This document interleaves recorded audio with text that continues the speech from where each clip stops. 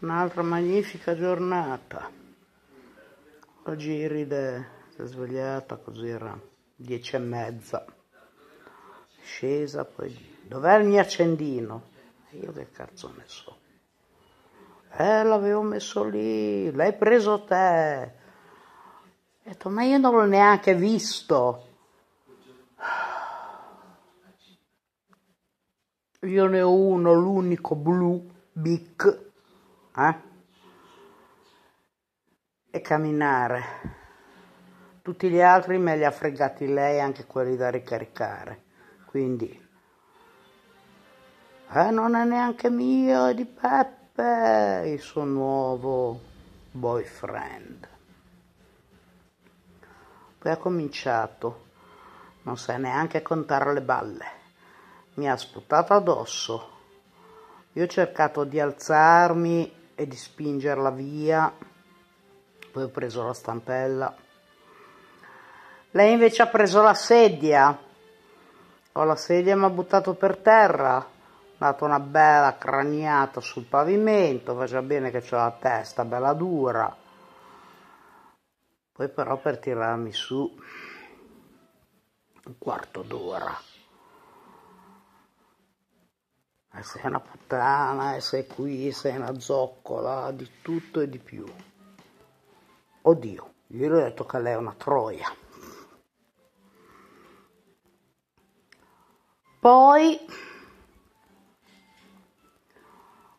da sdraiata vedo sotto la stufa qualcosa. Gli dico, guarda un po' lì, non è che eh sì, era proprio il suo accendino che probabilmente uno dei due gatti ci ha giocato.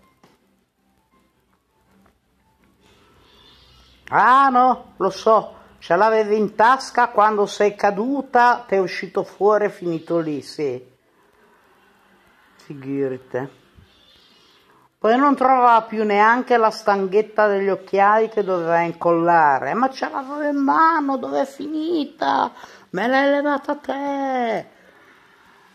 Poi vado a dare da mangiare a Black di là.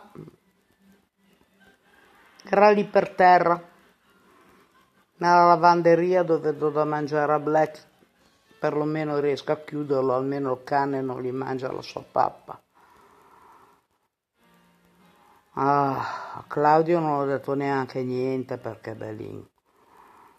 Tanto poi mi dice, eh, ma sei tu che la provochi? Come che la provoco? Ma diamo i numeri? Cioè, non lo so.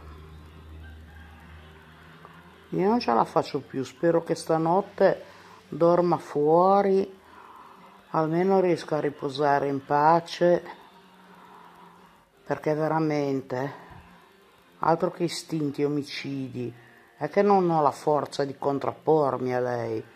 E infatti mi ha fatto cadere a lunga distesa. Vabbè. Mi sono sfogata. Ciao ragazzi